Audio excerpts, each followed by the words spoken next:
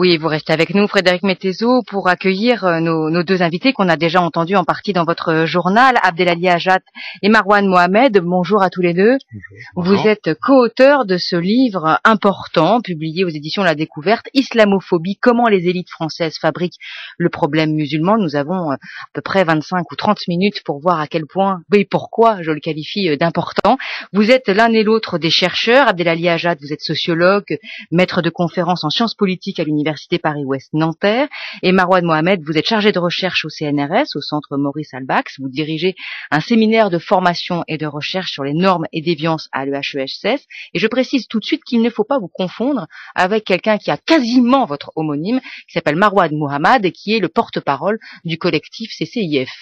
Hein, ça. Tout à fait. Et pour euh, pour euh, vous interroger à nos côtés, nous avons proposé à une autre sociologue et anthropologue, Nassira Genif Soulamaf, qui Soulamaf, qui est professeur à l'université Paris 8, de venir euh, lire votre livre et de venir vous poser toutes les questions qui lui semblent utiles de vous poser. Voilà qui est dit. Alors première question à vous deux, bien sûr, puisque vous êtes les, les deux auteurs de ce livre.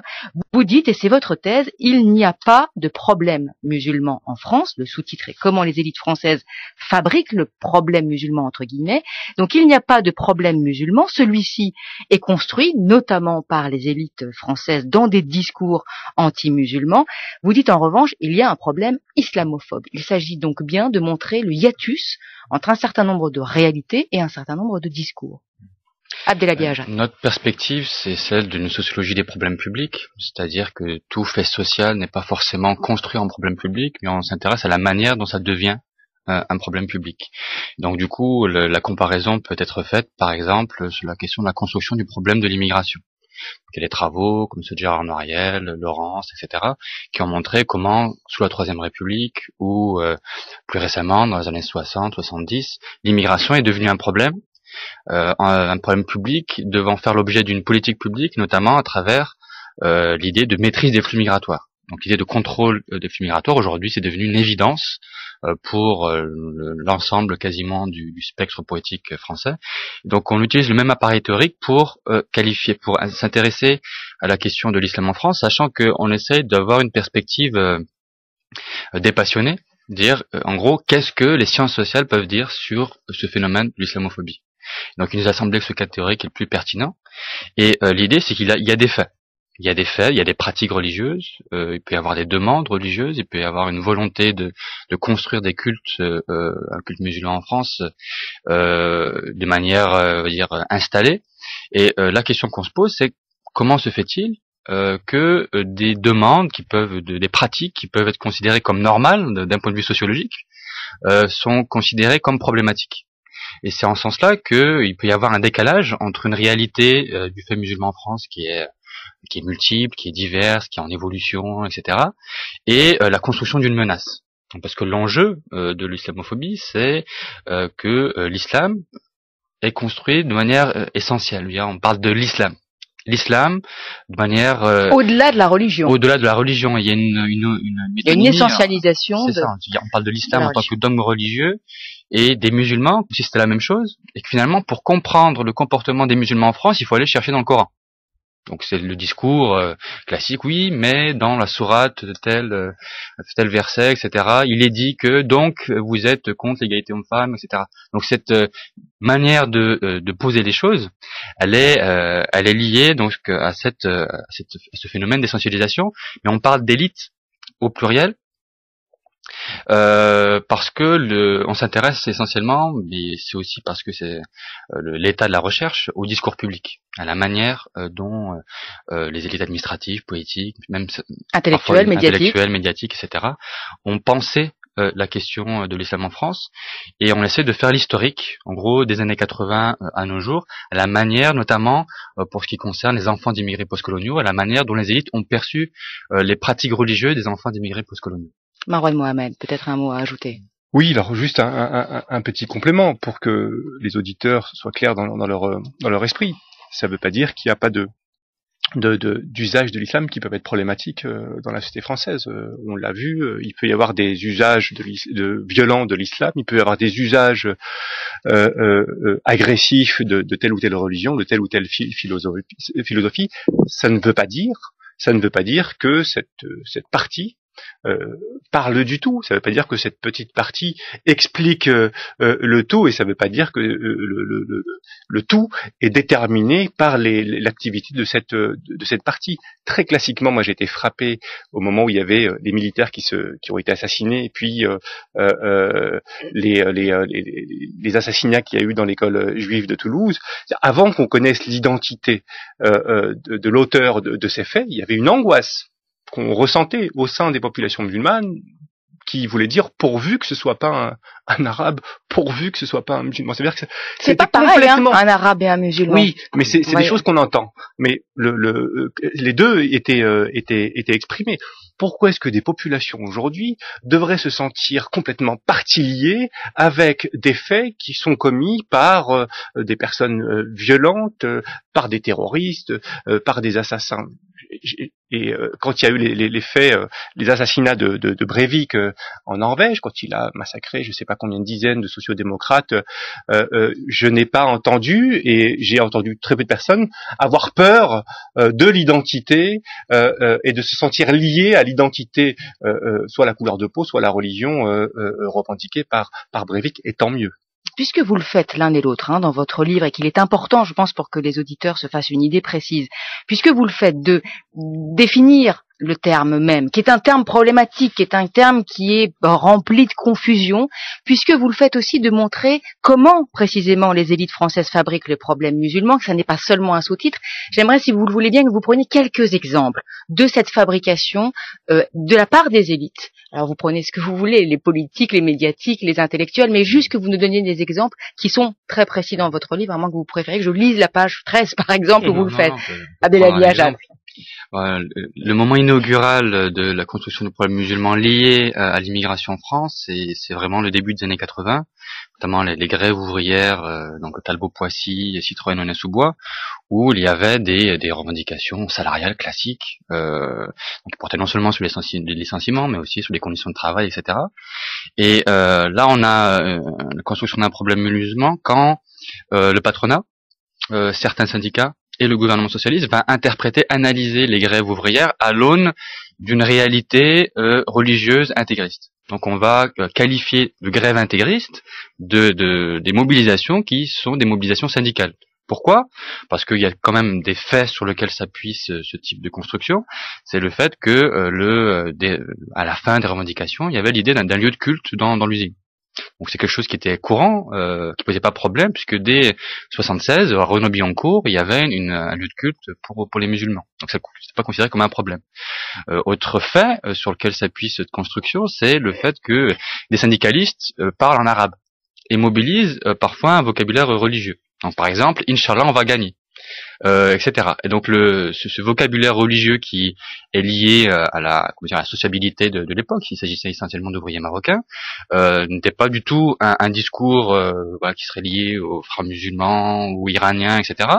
Mais c'est à partir de ces faits, qui sont tangibles, qu'on a transformé ces grèves en grève intégriste, en grève chiite sachant que euh, la majorité de ces ouvriers étaient plutôt sunnites. Euh, mais bon, c'est euh, donc c'était le Gaston Defer à l'époque qui était ministre de l'Intérieur, Jean Roux qui était ministre du Travail, et puis euh, Pierre Mauroy qui était Premier ministre, qui ont qualifié ce type de discours, ces, grèves comme intégristes, et les médias aussi. Donc on a vu apparaître des, des caricatures de, de chaînes d'usines avec des, des voitures voilées avec une burqa.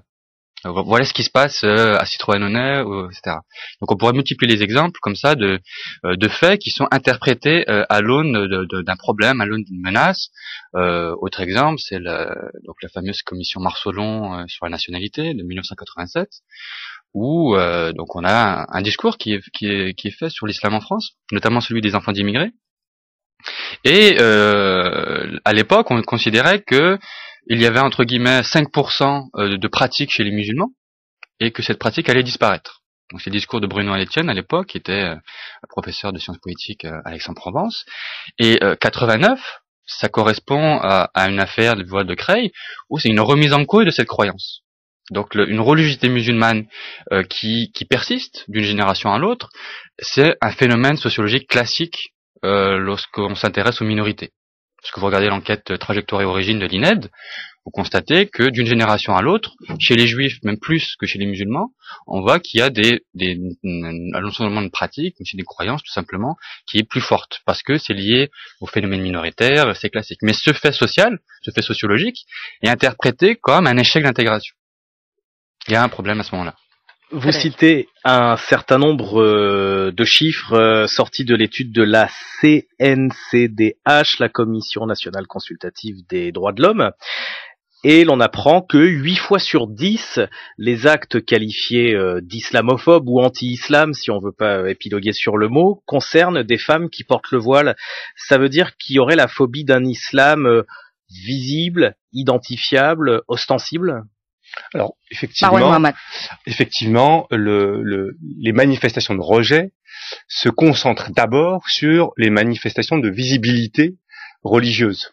Les lieux de culte, des commerces euh, halal euh, ou bien des femmes euh, essentiellement des femmes voilées parce que quand on, on agresse les agresseurs islamophobes sont pas non plus très très courageux. Donc c'est plus les femmes qui sont visées par violence par ces violences quand il y en a que que les hommes. Mais donc il y a une focalisation bien sûr sur tout ce qui relève de la visibilité de l'islam mais l'islamophobie vécue au quotidien en termes de suspicion, de climat de suspicion, en termes euh, euh, d'expérience de, discrimination, en termes de malaise.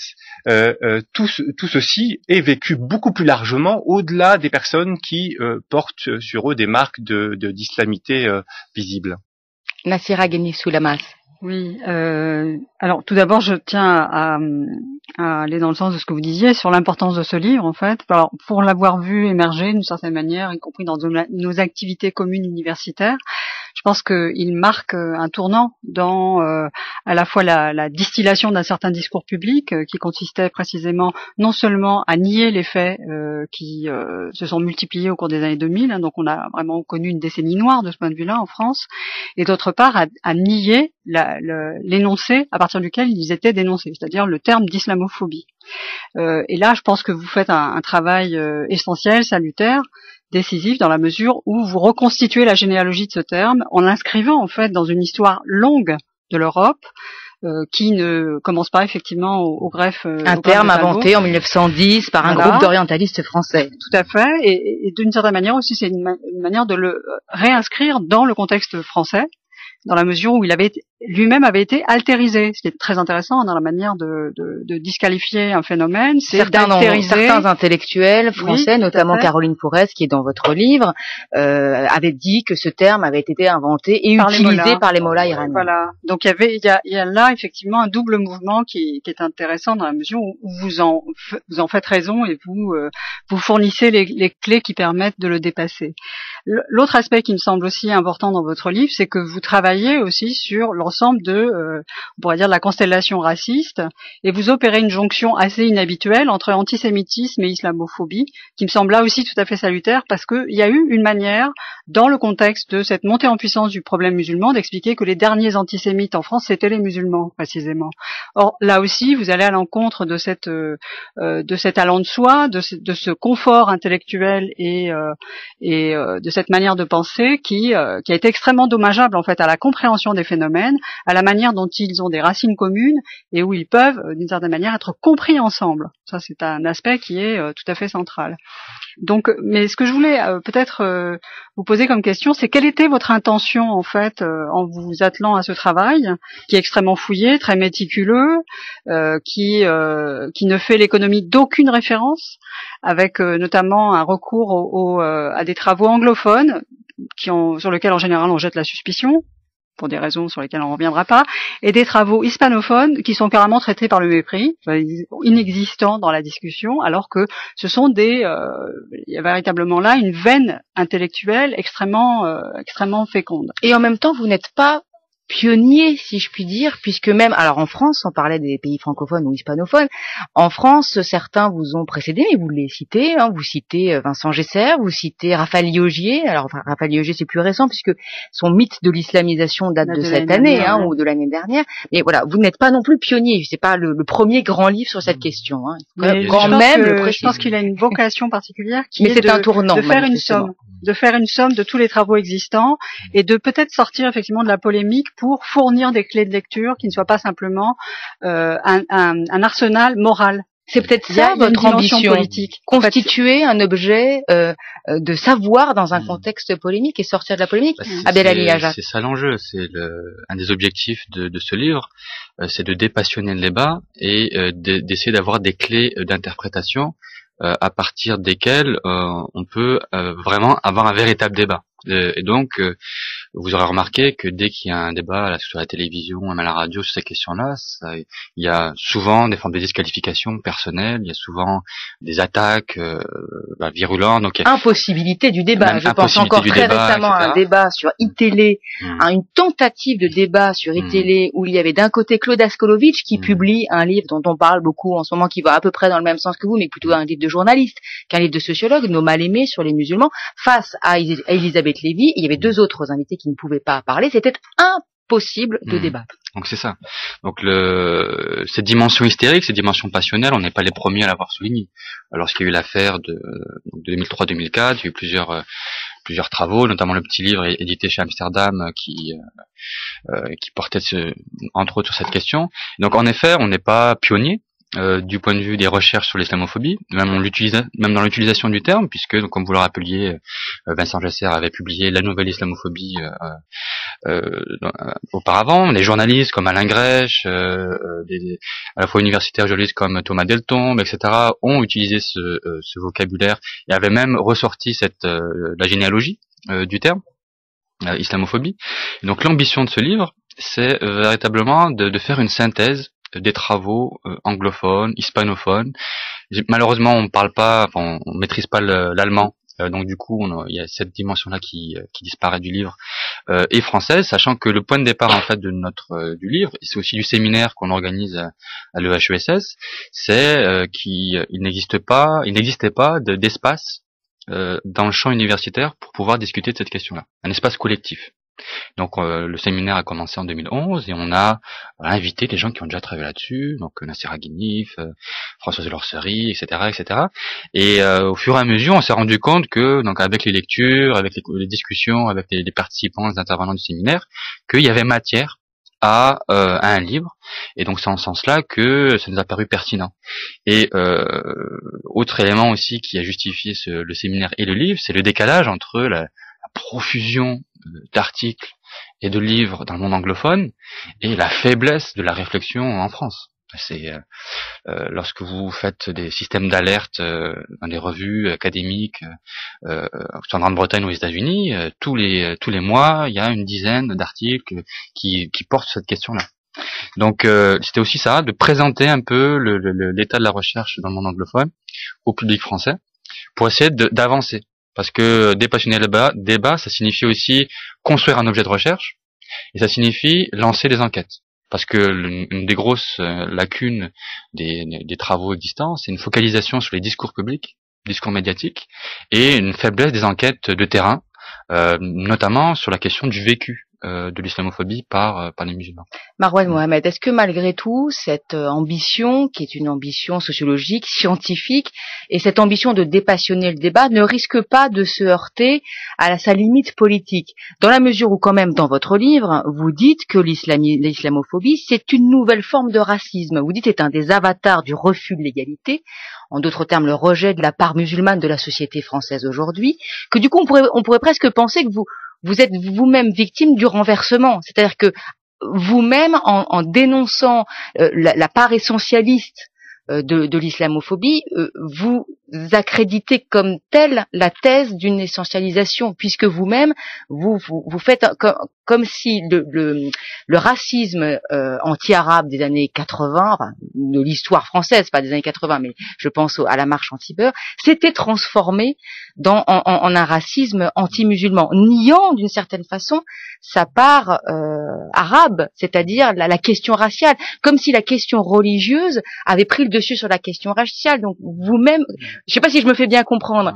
Est-ce que ça risque pas de se heurter à ça J'ai très bien compris. Non, notre, notre point de vue, c'est d'essayer de comprendre et on a, on a tenté de démontrer comment les choses s'articulaient de fait, quand vous regardez les discours publics, il était focalisé sur un discours anti-maghrébin, anti-arabe jusqu'à euh, fin des années 80, euh, pour aller très vite et schématiquement, et puis on a vu progressivement euh, le, la construction du problème, en tout cas la, manière de traiter et de regarder les minorités postcoloniales, notamment issues du Maghreb, plus largement de, de toute l'Afrique, à, travers un signe et à travers euh, la question euh, la question religieuse la question la question de l'islam. Donc on, étudie cette transition. Elle est facilement euh, elle est facilement repérable. Par contre ça ne veut pas dire que l'on efface euh, la question, euh, la question raciale, on essaye, et c'est ce qu'on présente, de montrer comment les choses ont été articulées, y compris en termes de mesures, c'est pas facile, y compris en termes d'expérience, c'est pas toujours évident, et y compris en termes de discours. Ce que je voudrais quand même rappeler, c'est que, y compris au Moyen, Âge, y compris à la période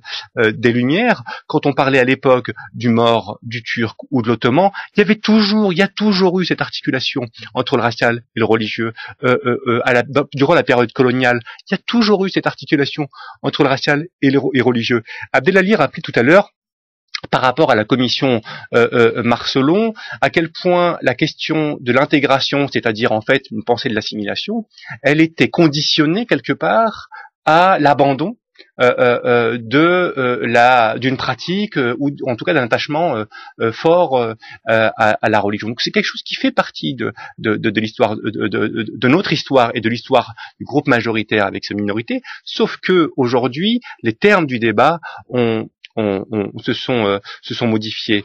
Mais pour aller plus loin encore, la grande difficulté quand on travaille sur l'islamophobie ou de manière générale sur le racisme, c'est d'articuler non pas seulement la race et la religion, c'est d'articuler la race, la religion le sexe et la classe. Parce que pour nous, c'est quelque chose qui est, qui est, qui est central. L'islamophobie a, à avoir quelque chose avec le racisme de classe. Alors il faut quand même que je me fasse l'avocat du diable. C'est bien pour ça que, que je vous titille d'une certaine façon euh, l'un et l'autre pour essayer de reformuler clairement les choses.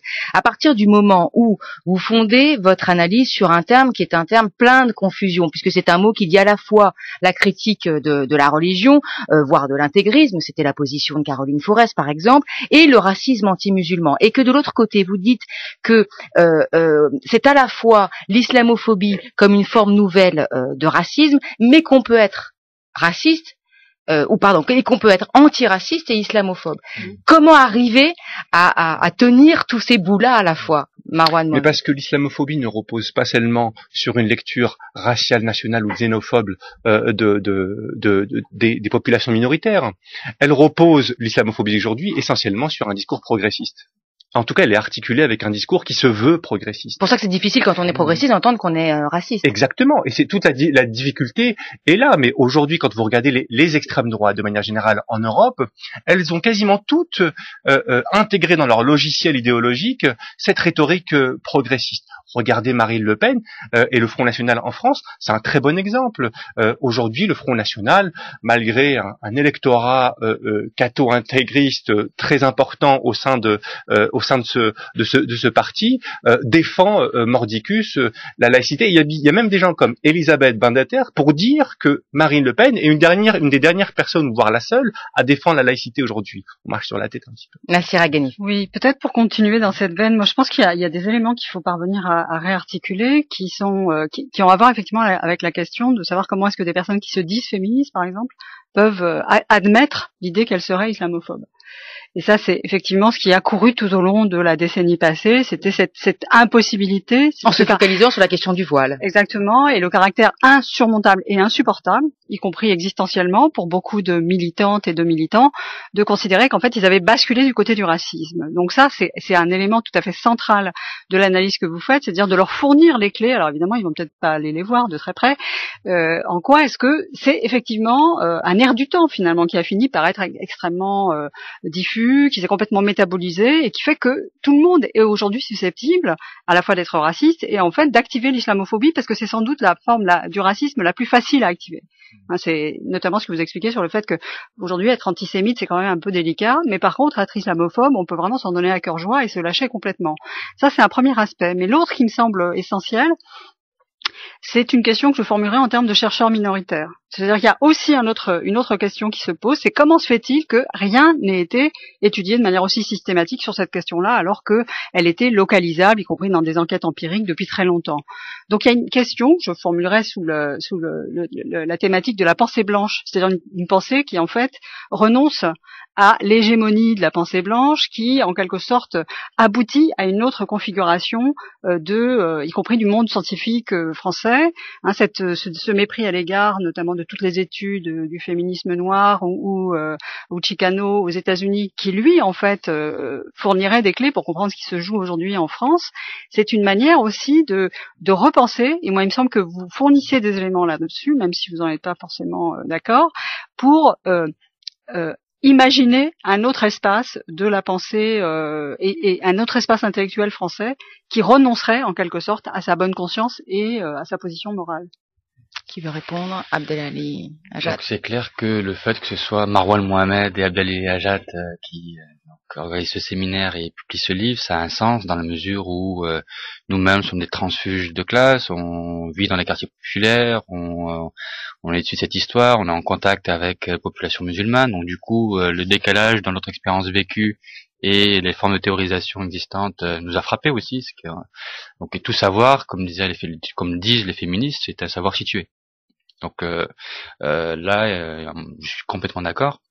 en même temps, on peut vous soupçonner de partialité, ensuite, c'est pas toujours évident. C'est le deuxième. Précisément par vos noms. C'est le deuxième élément. le fait que qu'on soit des chercheurs minoritaires, euh, peut euh, nous donner une position nous permettant de voir des choses euh, que d'autres ne voient pas ou voilà c'est un fait avéré. Mais on rentre complètement dans une perspective de méthode de sciences sociales. Donc nous on ne souhaite pas avoir une discussion en termes de disqualification de, des noms mais on souhaite avoir une discussion à partir des faits et de la manière d'analyser les faits. Et donc c'est une discussion à partir des, des, règles de la méthode sociologique. On n'est pas, c'est pas un essai, euh, ce n'est pas un livre à thèse, comme l'a écrit Le Monde euh, dans, son site d'aujourd'hui. C'est un livre à une prétention scientifique et donc avec euh, qui est réfutable à partir d'autres faits et d'autres d'autres catégories. Frédéric. Oui, sur le titre de votre livre, on a disserté sur le mot islamophobie. Moi, c'est le mot élite qui m'a euh, attiré. Vous avez répondu partiellement en parlant euh, d'une forme de racisme de classe. Euh, votre livre fait écho à un autre livre de, Nadia Marzouki, L'islam, une religion américaine, qui évoque la montée de l'islamophobie aux États-Unis, avec souvent des discours progressistes, etc., etc. Pour autant, il n'y a pas de problème de classe, puisqu'aux États-Unis, les musulmans appartiennent plutôt à la classe moyenne, voire la classe moyenne privilégiée.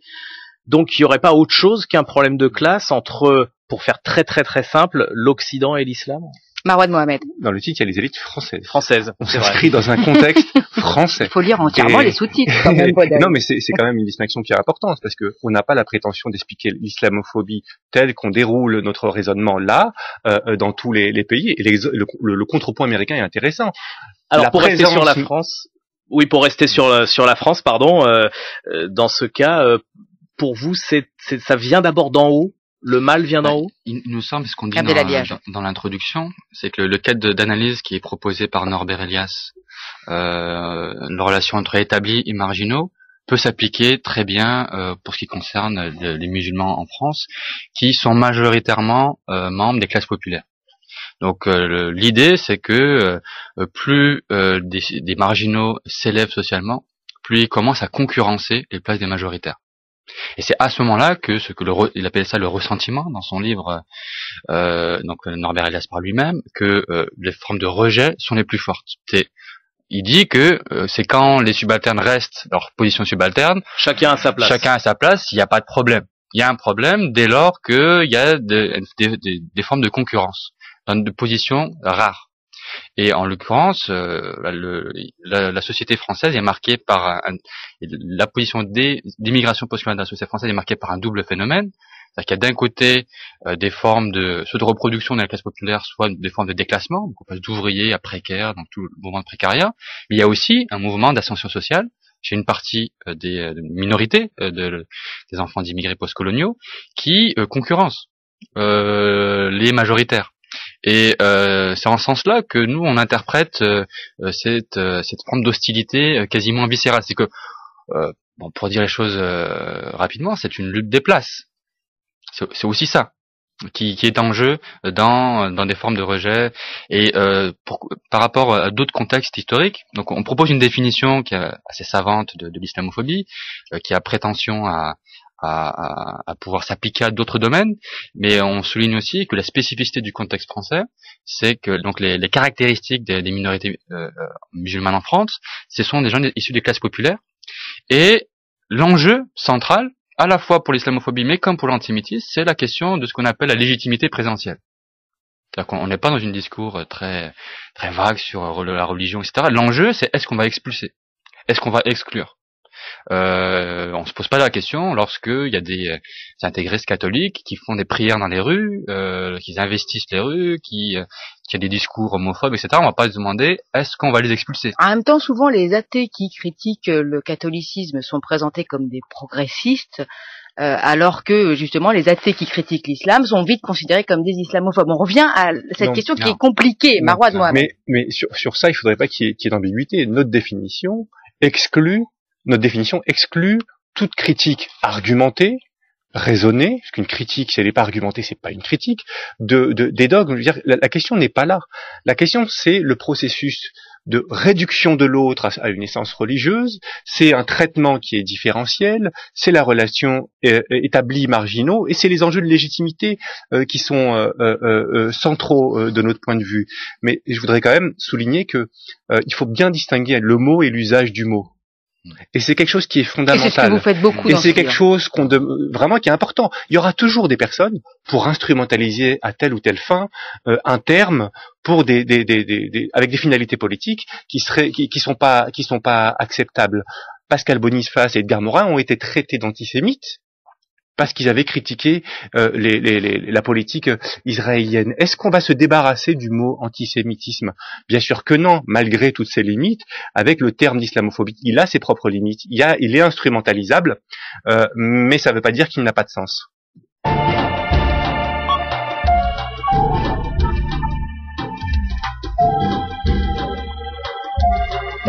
France Culture, la grande table.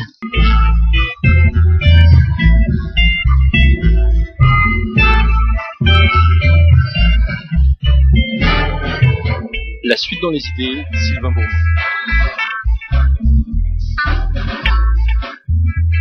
Peut-on ne pas parler d'islamophobie? C'est la question que je poserai aujourd'hui à deux sociologues, Abdelali Hadjat et Marwan Mohamed.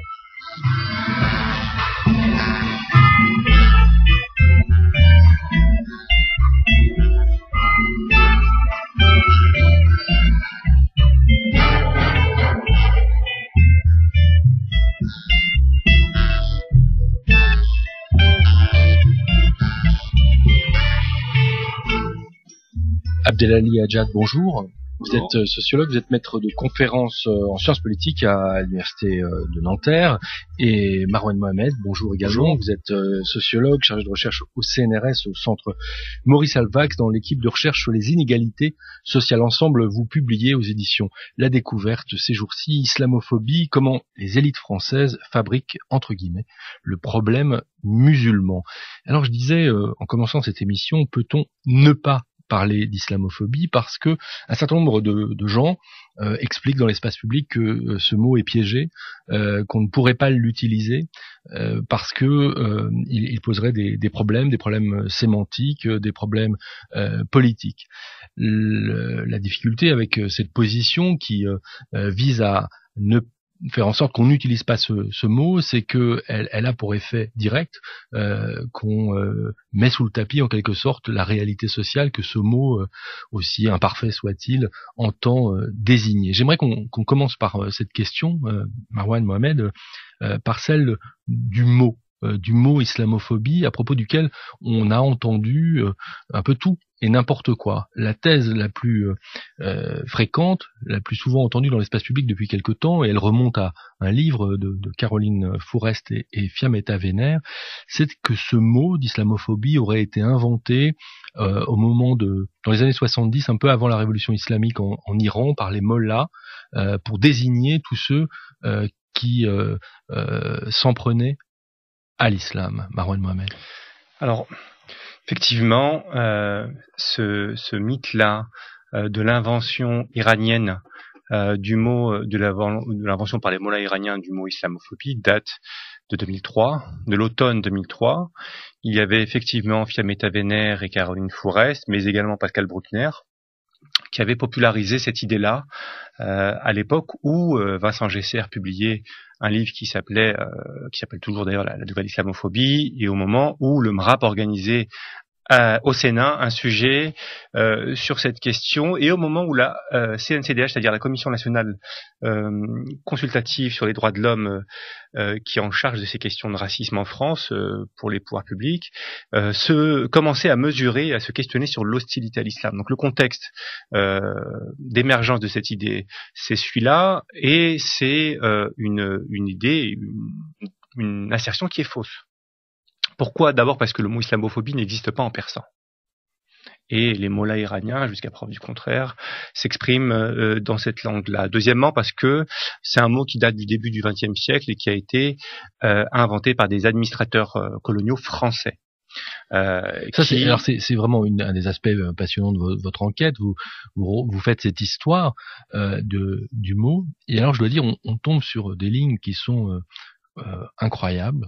Euh, on, on, mythifie beaucoup euh, la Troisième République aujourd'hui euh, en France. On sait qu'elle est responsable de choses qui sont pas forcément très très jolies à regarder aujourd'hui sur, sur, certains territoires à l'époque de, de, la République. Mais en fait, ce mot apparaît dans un article de 1910 signé d'un monsieur Delafosse et qui est un, un, un, administrateur ethnologue, comme on disait, c'est-à-dire que les sciences sociales, on voyait, étaient encore assez peu indépendantes à, à l'égard de l'administration et, de l'État. N'empêche que ce, monsieur fait des remarques euh, très très pertinentes. Je, voudrais juste lire quand même cet extrait parce que je le trouve euh, proprement incroyable euh, aujourd'hui. Quoi qu'en disent ceux pour qui l'islamophobie est un principe d'administration indigène, la France n'a rien de plus à craindre des musulmans en Afrique occidentale que des non-musulmans.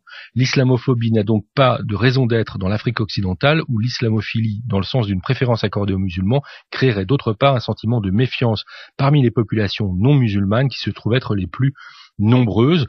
L'intérêt de la domination européenne, comme aussi l'intérêt bien entendu des indigènes, nous fait donc un devoir de désirer le maintien du statu quo et de garder une neutralité absolue vis-à-vis de toutes de tous les cultes. On a là euh, finalement une, définition de ce que peut être la, laïcité euh, de la République euh, française et on a le sentiment qu'entre 1910 et aujourd'hui quand même les choses ont quelque peu évolué Abdelali Hadjat. Bah, le texte de La Fosse et puis d'autres administrateurs ethnologues qui étaient érudits, donc qui étaient des spécialistes de l'islam noir entre guillemets, ouest européen, avait euh, pour objectif de maintenir la domination coloniale. Donc euh, l'enjeu c'était de ne pas privilégier ou de défavoriser une population, qu'elle soit animiste, musulmane ou autre culte, euh, et le fait de privilégier ou de, défavoriser un culte par rapport à l'autre pourrait bah, provoquer un déséquilibre et remettre en cause l'empire. Donc euh, le, voilà, ce qu'il y a derrière, c'est cette quand même cette, euh, cette idée de maintien d'une domination coloniale sur un territoire. Mais euh, c'est vrai que donc le terme est inventé à ce moment-là, mais c'est ça s'inscrit dans une vague du début du XXe siècle où on utilise beaucoup le terme le suffixe phobie. Donc c'est à ce moment-là qu'on va à ce moment-là, à ce moment-là, on parle de xénophobie, euh, etc. Euh, on parle pas de judéophobie. À l'époque, on parlait d'antisémitisme. Donc euh, voilà, ça s'inscrit aussi dans cette euh, dans cette on dire série d'innovations sémantiques propres aux, ethnologues, etc. Et donc ce qui est intéressant, c'est que le, le terme est né en France dans un contexte très précis. Il va être repris par quelqu'un comme Étienne Dinet, qui un autre orientaliste, mais lui qui était plutôt du côté des indigènes algériens, euh, pour dénoncer euh, ce qu'il appelle euh, donc l'orientalisme, donc la manière donc de d'analyser le, monde oriental, et on va assister à une éclipse pendant plusieurs dizaines d'années dans l'usage français du terme islamophobie et il va réapparaître véritablement dans le contexte anglophone. Donc au départ dans notamment dans un texte d'Edouard Saïd en 85, où il, répond aux critiques qui ont été adressées de l'orientalisme. Donc c'est un, article intitulé Orientalism We Considered. Et puis, euh, sans que ce soit forcément connecté, il y a un nouvel usage qui va se faire en Grande-Bretagne, donc dans les années 80, où là le terme islamophobie va être utilisé pour désigner une forme de racisme euh, spécifique euh, à l'encontre des musulmans britanniques. Non seulement il est utilisé, il est utilisé par des spécialistes en sciences sociales, par des acteurs sociaux, mais il est très vite en fait extraordinairement rapidement institutionnalisé. On, on, a euh, euh, dès 1994 un fameux euh, rapport Renimid qui, qui, va au fond inscrire ce mot dans les politiques publiques mmh. outre-Manche et, et, finalement c'est cette trajectoire qui va suivre le mot jusqu'y compris dans des ONG au plan international. Et c'est très intéressant dans, dans, votre livre de, de, de contraster cette situation du monde anglo-saxon avec notre débat très français où, où l'on est encore dans, devant un, un, un moment euh, de, de, réflexion sémantique, je dirais, sur le, la possibilité ou non d'utiliser ce mot Marwan Mohamed. Sur la question sémantique, à mon avis, il faudrait, alors effectivement, il apparaît euh, dans le rapport du Ronnie Trust euh, de 94, il va être très critiqué parce que la manière dont il est défini, qu'il est posé à l'époque, pose énormément de problèmes et ne, ne, règle pas forcément euh, euh, le, la situation de discrimination ou de rejet des, des, musulmans britanniques. Mais pour revenir sur cette question de, euh, de du débat sémantique actuellement, c'est bien qu'il y ait un débat sémantique euh, sur les mots qu'on utilise pour désigner des phénomènes. Je pense que c'est sain qu'il y ait un débat sémantique. Euh, ce qui me frappe, c'est qu'il y a un débat que pour désigner, que, que pour le mot qui désigne le rejet de l'islam. On pourra avoir le même débat pour d'autres concepts qui servent à désigner d'autres formes de, de, de, racisme ou de discrimination. Pour l'homophobie, par exemple. L'homophobie, l'antisémitisme, euh, euh, la négrophobie. Et je veux dire, on peut prendre tous les, les, les termes, ils ont tous leurs limites. Et c'est cette idée qu'il faut bien avoir en, en tête. Il n'y a pas de terme parfait. Il n'y a pas de terme parfait, y compris du point de vue de ceux qui inventent le terme je rappelle que l'antisémitisme a été inventé par un antisémite. C'était un journalisme, un journaliste allemand à la fin du 19e siècle. Alors on va on va arrêter là euh, peut-être le, débat sur sur les mots parce qu'on a bien compris que le, le nominalisme peut être un, un péché parfois euh, euh, de de la philosophie souvent des sciences sociales parfois. On va essayer de, de s'intéresser un petit peu plus à à, à la réalité euh, qui est en, en l'occurrence désignée. Si on veut pas être naïf, on voit bien aussi que ce mot d'islamophobie est quand même utilisé par des acteurs sociaux dans des stratégies extraordinairement différentes les unes des autres. Et, il y a un, autre problème, plus politique celui-là, euh, avec certains usages du mot islamophobie. C'est-à-dire que certains acteurs sociaux considèrent qu'il faut entendre par islamophobie toute euh, attaque de euh, l'islam et voudraient du même coup, au nom de la lutte contre l'islamophobie, interdire toute possibilité même de critiquer la religion. Et, c'est souvent d'ailleurs face à, ce discours-là que, que, se sont cristallisées des choses. Je pense à la trajectoire d'un journal comme, comme Charlie Hebdo. On, peut à la fois être très solidaire au nom des principes de liberté publique euh, pour défendre avec Charlie Hebdo la, liberté de publication et d'attaquer euh, les religions en République française, et en même temps euh, ne, considérer qu'il ne, faut pas tout mélanger et, que le mot d'islamophobie ne renvoie pas nécessairement uniquement à, cette acception-là que certains dans le monde musulman voudraient voir triompher sur d'autres sens du mot islamophobie. Oui, euh, le, ce qui est intéressant, et c'est ce qu'on essaie de d'analyser dans, dans le bouquin, c'est euh, la lutte de définition. Euh, c'est un un mot euh, qui euh, déchaîne des passions, qui de fait, lorsqu'on regarde les différents acteurs, que ce soit en France ou dans, le monde anglophone, il y a une pluralité de définitions d'islamophobie qui peut aller dans le sens de certains qui considèrent que toute forme de, caricature, de critique de la religion musulmane en tant que religieux relève de l'islamophobie. Mais ce qui nous intéresse nous, c'est si on considère que le terme islamophobie c'est le terme euh, voilà, qui, qui, qui, est dans l'espace public. Et c'est un peu le, la conclusion euh, que fait la plupart des, des, chercheurs en sciences sociales dans le monde anglophone. L'enjeu, ce n'est pas tant euh, le terme en lui-même, on l'utilise ou pas, la question du bannissement. C'est un peu l'enjeu du débat en France, est-ce qu'on le bannit ou pas du, L'enjeu, c'est plutôt la question de la définition et la question de l'usage. Donc c'est pour ça que donc on, on présente euh, différentes formes de différentes approches de, de, de l'islamophobie, on, on propose la nôtre, c'est-à-dire qu'on considère que l'islamophobie c'est un processus de racialisation qui consiste à analyser, interpréter le comportement de présumés musulmans à l'aune de leur supposée appartenance religieuse.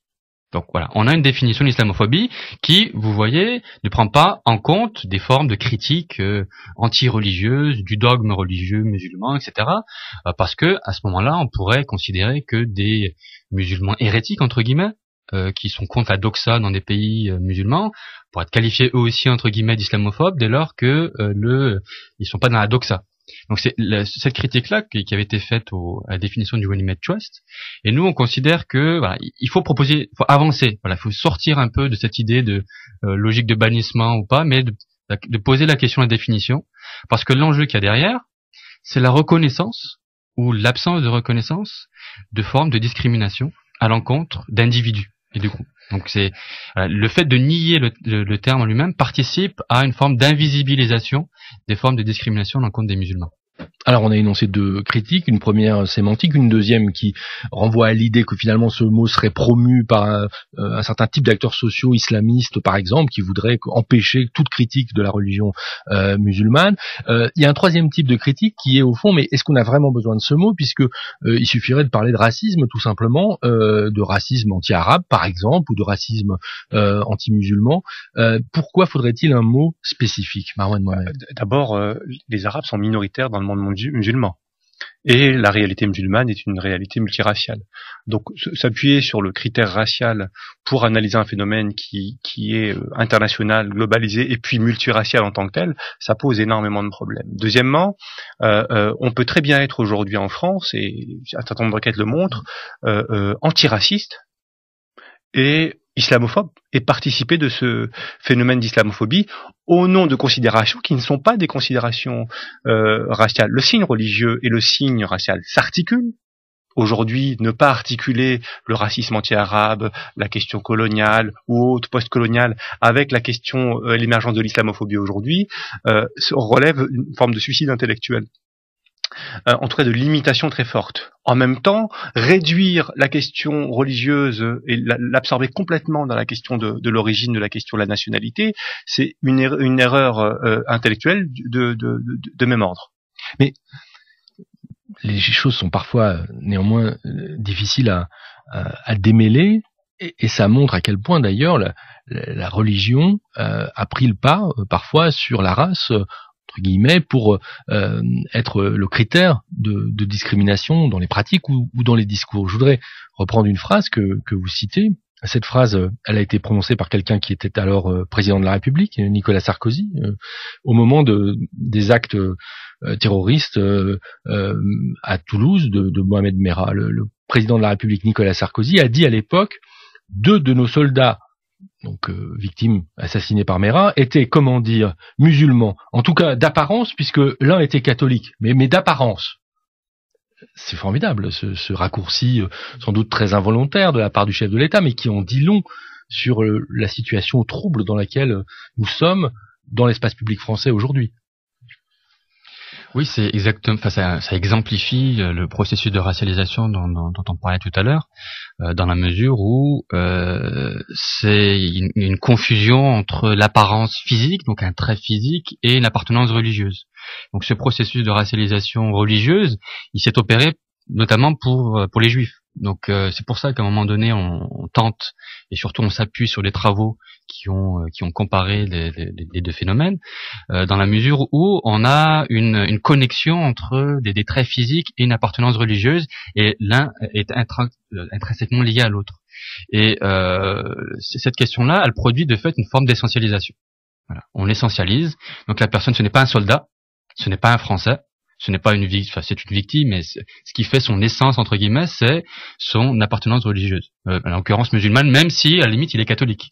Donc c'est le fait même de dire il est musulman même s'il est catholique, vous voyez un peu le, le, le, le problème que ça pose, euh, la grille de lecture qui s'impose sur le regard de Sarkozy lorsqu'il il s'intéresse à, à, ces soldats euh, victimes de Mera.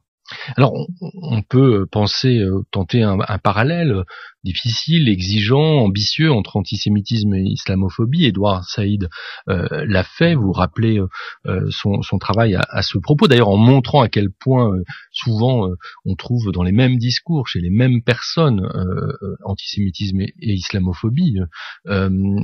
et en même temps, c'est une époque, ce moment où Édouard Saïd publie, 1985, qui, sur cette question, nous paraît aujourd'hui extraordinairement loin.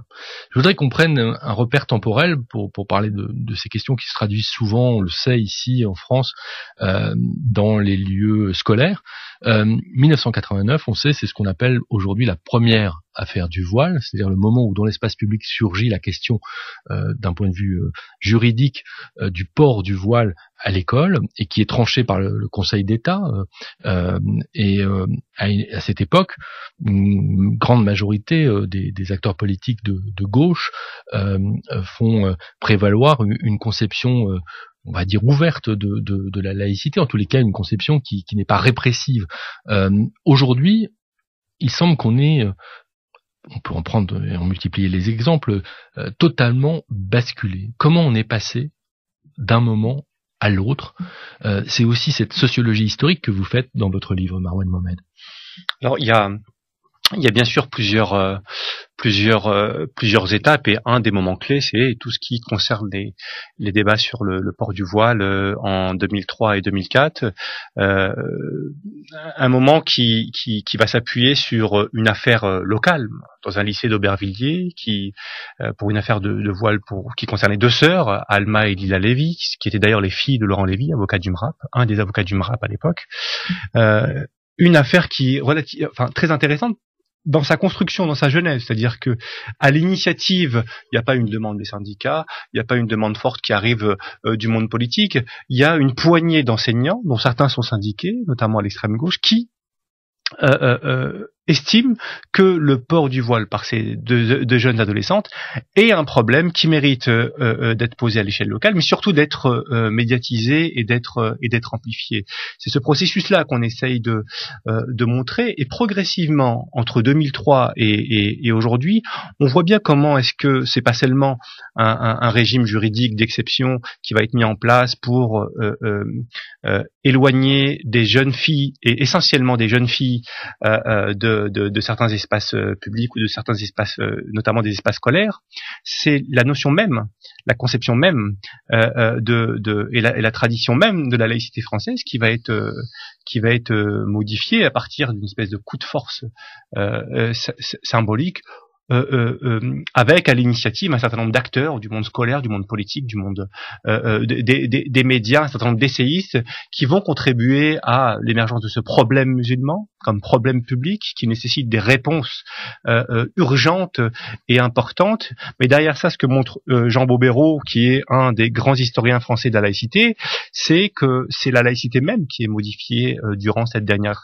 décennie à travers tous ces textes et toutes ces évolutions juridiques la, laïcité est modifiée parce que là encore, pour prendre un autre repère temporel qui nous permet de mesurer véritablement le, changement rapide, 1984, euh, c'est l'année euh, des grandes manifestations de la droite euh, qui partent de Versailles contre le projet de réforme de l'école et la fin des subventions publiques aux écoles privées, notamment évidemment aux écoles privées confessionnelles. On le sait, la gauche la gauche cale, la gauche abandonne euh, son projet, la gauche perd la bataille euh, des principes, la bataille politique sur cette question de la laïcité. Et quand la laïcité ressurgit, euh, quelqu'un qui aurait été euh, dans le coma toutes ces années et qui aurait été réveillé aurait du mal à comprendre euh, pourquoi autant de, leaders de droite aujourd'hui tiennent des discours ouvertement laïques alors que ils combattaient fermement la laïcité en 1984. Il y a, là quelque chose qui bascule comme si on passait aussi d'une application de la laïcité à des institutions vers une application de la laïcité à des personnes puisqu'on se focalise sur ce que portent les gens sur la tête, sur les épaules, etc. Abdelali Adjad. Oui, c'est l'étonnement qui a été aussi le, la source du livre. C'est comment les minoritaires de 89 sont devenus les majoritaires de 2003 et de, actuellement. Donc si, si on s'intéresse un peu à la, la perspective euh, historique, on peut comparer le, ce qui se disait sur les enfants d'immigrés postcoloniaux avant 89 et ce qui se disait après. Donc, euh, avant 89, il y a la fameuse commission Marcelon sur la nationalité, donc qui a été réunie en 1987. Donc c'était à la suite du débat autour de la remise en cause du droit du sol par, par Chirac à l'époque.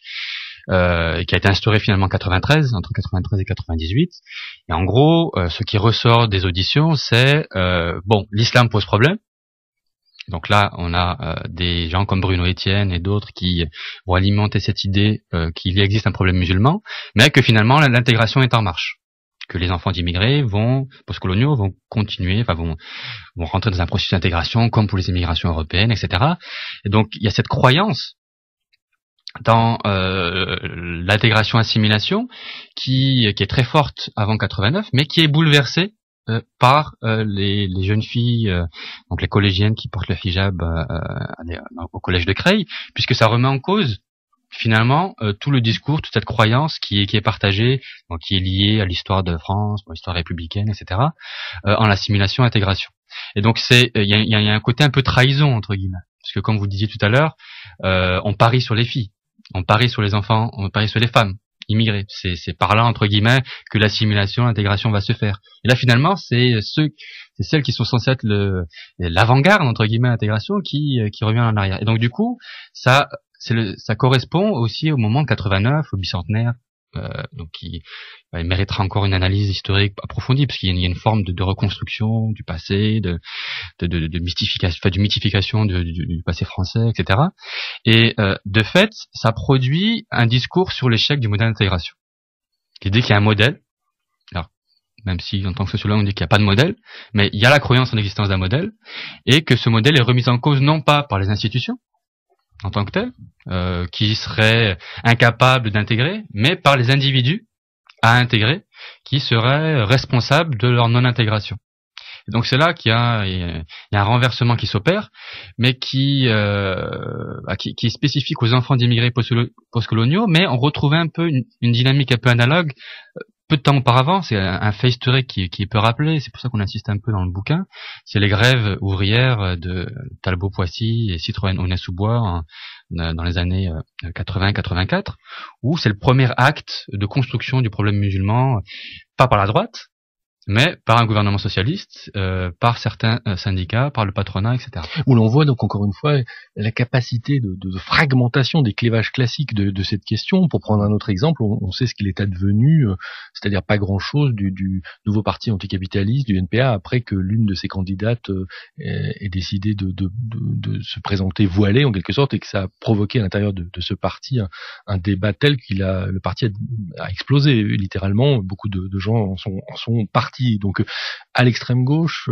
euh, dans la gauche de gouvernement, euh, à droite, à l'extrême droite, euh, un peu moins. ils sont peut-être un peu plus d'accord entre eux sur cette question, mais en tous les cas, à droite, à gauche et à l'extrême gauche, cette question a littéralement traversé euh, toutes les, les organisations euh, politiques. Alors en 89, il y avait quand même un certain nombre de, euh, de gens, certes minoritaires, mais qui portaient déjà la position qui est aujourd'hui majoritaire, et ça faisait réfléchir des, des, chercheurs déjà. Je voudrais citer cette phrase que, que vous rappelez, tirée d'un article important de Pierre Bourdieu, un article de presse, hein, mais qui s'appelait Un problème peut en cacher un autre. Et en 89, sur cette question du voile, Pierre Bourdieu écrivait la question patente, faut-il ou non accepter à l'école le port du voile dit islamique, occulte la question latente, faut-il ou non accepter en France les immigrés d'origine nord-africaine?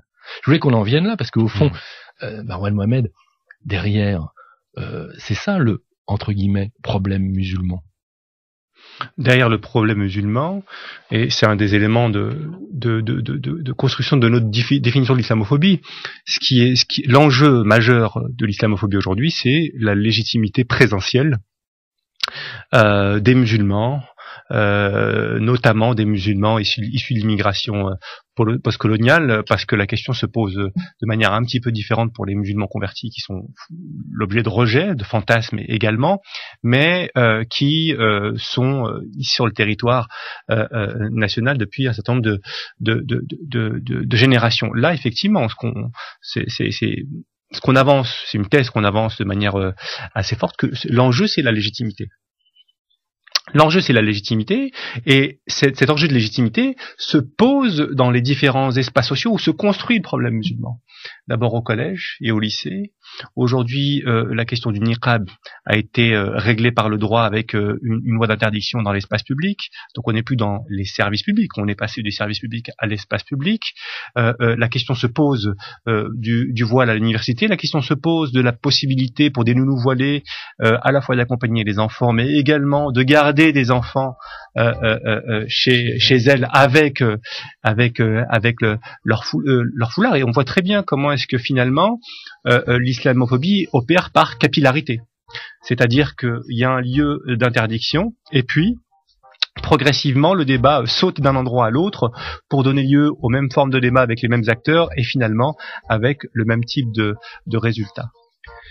Voilà, pour terminer, euh, peut-être on peut rappeler par, contraste que cette troisième république qu'on mythifie souvent, mais aussi la quatrième et aussi euh, la cinquième, euh, tolérait la présence de bonnes sœurs infirmières en cornette dans les hôpitaux publics et, et il semble qu'on l'ait oublié. Merci Marwan Mohamed, merci Abdelali Hadjat. Je rappelle le titre de votre livre Islamophobie, comment les élites françaises fabriquent le problème musulman. Le livre paraît aux éditions La Découverte.